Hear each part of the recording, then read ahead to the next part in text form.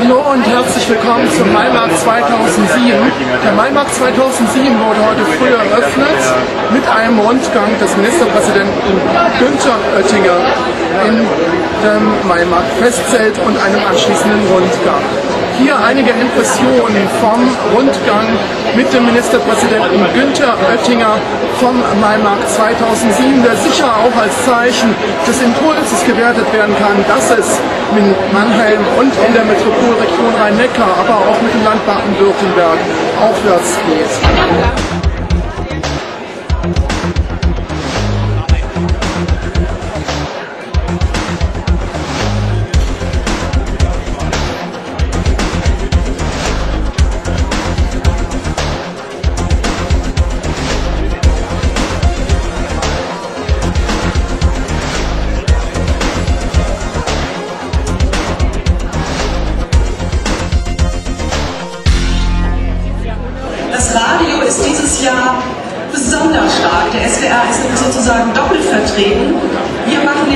Jahr das erste Mal das Maimarktradio auf der Frequenz 94,6 merken.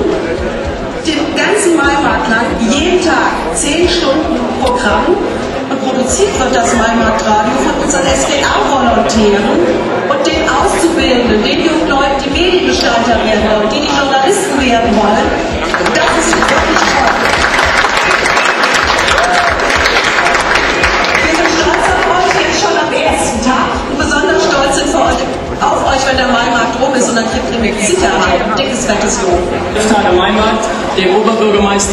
Ministerpräsidenten als unseren Ehrengästen heute hier.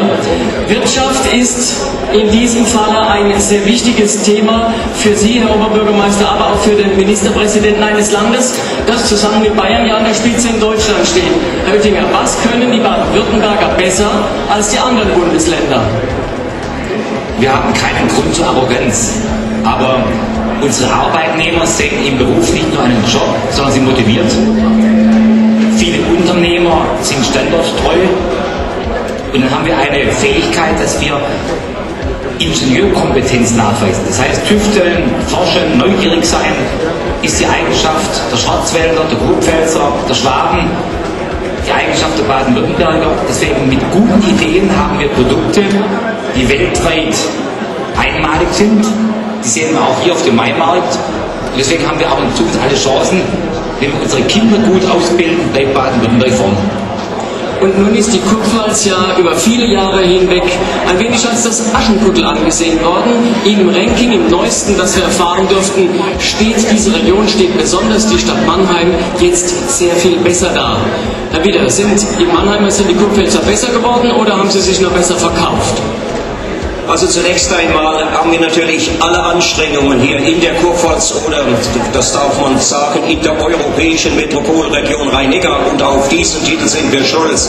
Wir, wenn ich sage wir, dann meine ich Wirtschaft, dann meine ich Wissenschaft, dann meine ich Politik und viele mehr, haben alle Anstrengungen unternommen, über Jahre hinweg den Strukturwandel zu bewältigen. Wir waren mehr betroffen von dem Strukturwandel der Wirtschaft als viele andere Räume in der Bundesrepublik. Ich sage nur, bei uns hat man das Wort Industrie geschrieben, da wussten alle, andere noch gar nicht, wie man es buchstabiert. Deshalb haben wir in dieser Stadt auch erfahren, was Industriewandel heißt. Und das durchzustehen, das war eine Herausforderung. Wir haben das Problem nicht nur beklagt, beschrieben und bejammert, sondern wir haben gehandelt gemeinsam und der Erfolg stellt sich ein und darauf dürfen wir gemeinsam stolz sein. Und das, was in dieser Region zu Hause ist, das kann man an der Anerkennung als europäische Metropolregion, das kriegt man nicht schenkt. Das muss man sich erarbeiten arbeiten. Dazu muss man die Kompetenzen nachweisen. Und wenn wir in dieser Zusammenarbeit weiterfahren in der Region, dann ist das auch möglich, was unser Ziel ist, eine der attraktivsten Regionen Europas im Jahr 2015. Ich bin davon überzeugt, wir schaffen das. Dazu braucht man aber bei aller eigenen Anstrengung sicherlich auch Hilfe, Hilfe der Landesregierung. Welche Hilfe, Herr Oettinger, bieten Sie an? Mannheim ist die zweitgrößte Stadt in Baden-Württemberg. Eine Stadt der Hochschulen, der Wissenschaft. Das heißt, das erste Angebot heißt die Uni, die Hochschulen, die tertiäre Bildung, die Forschung. Das zweite ist, dass wir im Bereich der Bildung, der Betreuung, der Erziehung gut zusammenarbeiten. von den kleinsten Kindern über den Kindergarten zur Schule und den allgemeinbildenden weiterführenden Schulen, den beruflichen Schulen. Das dritte heißt sicherlich Infrastruktur. Wir brauchen jetzt die Umsetzung von der Trasse Frankfurt-Mannheim und dem Hauptbahnhof Mannheim, damit diese Verkehrszentrale, diese europäische Verkehrszentrale Mannheim leistungsfähig bleibt. Dann haben wir mit Sicherheit im Bereich der inneren Sicherheit viele Aufgaben. Unsere Polizei, die Erweiterung des Polizeigebäudes, anderes mehr. Und last not least unterstützen wir den SWR, wenn er in Mannheim ein gutes Studio behält, mit guten Köpfen, mit viel Programm, wenn er aus Mannheim für ganz Baden-Württemberg, für Hessen, für Rheinland-Pfalz berichten kann. Das tun wir hier im Gesamt Studio sicher in den nächsten elf Tagen. Wir bilden aber auch aus im Mainmarkt Radio. Also der SWR zeigt in Fortsetzung der Woche, Kinder sind unsere Zukunft, Jugendliche auch unsere Zukunft, hier Flagge. Ich will noch eine Bemerkung machen, weil mir das wichtig ist und ich sage das an Ministerpräsident Oettinger, ich meine aber auch die Ministerpräsidenten Teufel und Speth dabei, die ich ja alle im Amt erlebt habe. In all den Jahren der Bewältigung des Strukturwandels war das Land Partner und hat das Land seine Verantwortung auch wahrgenommen, die es für diesen großen Wirtschaftsraum in Baden-Württemberg hat. Und wir müssen dieses auch in Zukunft gemeinsam so fortsetzen. Land und Stadt und Region sind gemeinsam verantwortlich für die Qualität, für die Lebensqualität in unserem schönen Land Baden-Württemberg. Und insofern sage ich Dank für die Vergangenheit, aber auch schon das, was in Zukunft jetzt derjenige, der in Ihrem Amt nachfolgt, mit der Landesregierung zu besprechen haben, dass auch dieses so erfolgreich sich fortsetzt, wie das in der Vergangenheit der Fall war. Der Mainmarkt als Spiegel der südwestdeutschen Wirtschaft.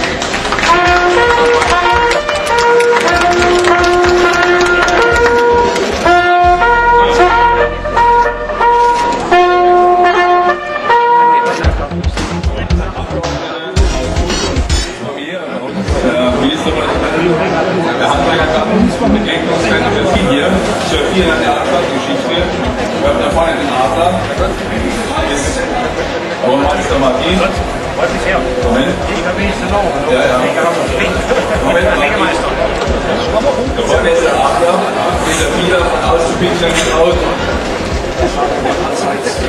Zum Wohl, ja, zum Wohl. Mal kurz.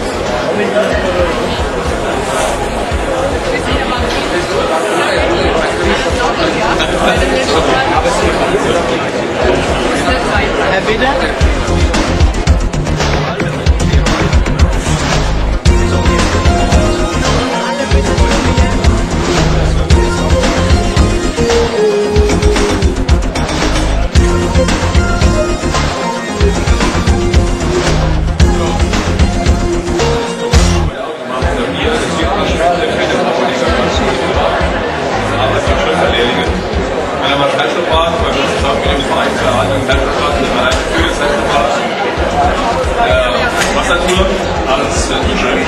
Wenn es Ihnen zu warm ist, können Sie reingehen. Ja. Dann haben wir eine Vermesstour. Da vorne nachgebildet. Zwischendrin finden Sie noch Originalsteine vom Rosengarten und vom Schloss. Da würden Sie mich jetzt nicht fragen, wie die hierher gekommen sind. Ich weiß es nicht. Und dann gibt der Bezug zur Reinerei,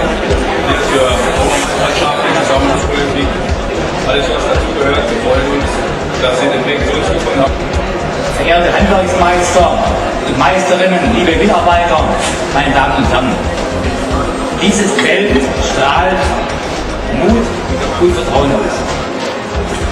Wer das Zelt aufbaut, wer hier diese Tische einrichtet, wer die Produkte, Bau, Ausbaugewerbe, Bäckereiwesen, Metzgereiwesen darstellt, der hat für sich und die Zukunft etwas vor. Deswegen wünsche ich den Handwerk in Mannheim und Baden-Württemberg, dass sie erfolgreich sind. Mit Handwerk, das scheinbar goldenen Boden hat, wird man nicht reich, aber zufrieden kann man damit leben. Sie haben keine 30-Stunden-Woche, eine 60- oder 70-Stunden-Woche. Deswegen wünsche ich Ihnen alles Gute und danke Ihnen sehr, denn so sehr Baden-Württemberg und Industriebetriebe geprägt ist, in Wahrheit haben wir mit Mittelstand, Handwerk und Handel unsere Grundlage für Arbeit, für Beschäftigung und für sozialen Wohlstand. Ihnen, lieber Präsident, danke ich besonders, dass Sie ein guter Ratgeber der Politik sind, in der Stadt und im Land. Sie haben ein Ehrenamt, das kostet viel Zeit, Sie es gut, engagiert, sind konstruktiv, auch kritisch, aber immer positiv. Ich wünsche Ihnen Gesundheit und in diesen Tagen möglichst viele Besucher im Zelt der Handwerker und möglichst viele Aufträge von hier ins neue Jahr. Aufträge kann man immer gebrauchen.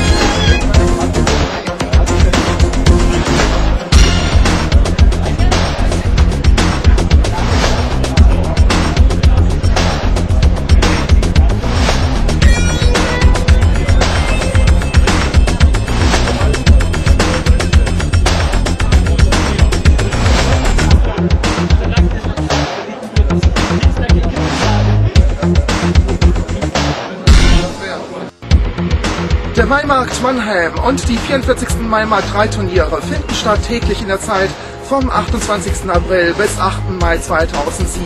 Täglich hat der Maimarkt Mannheim in der Zeit von 9 bis 18 Uhr geöffnet.